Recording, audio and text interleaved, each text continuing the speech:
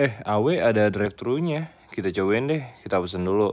Ada durian ball juga. Terus gue mau pesan nasi sama ayam. Nah, habis pesan kita nunggu. Totalnya 213 ribu. Tiga paket nasi ayam sama satu durian ball. Nah, ini datang nih. Hmm, bagus sih bungkusnya. Tapi agak lama guys sebenarnya. Nah, sampai rumah, mari kita makan. Nah, tuh kan satu paket dua ayam, satu nasi sama minum. Nih durian ballnya kita cobain.